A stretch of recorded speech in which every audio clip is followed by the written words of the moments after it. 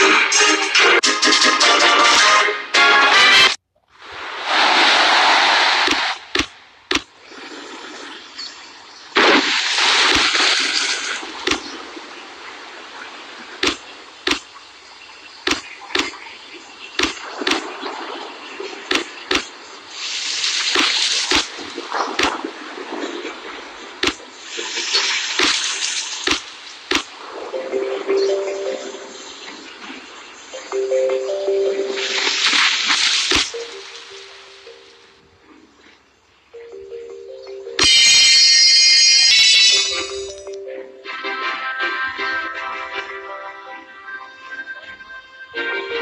En wacht wel voor Kalangboom.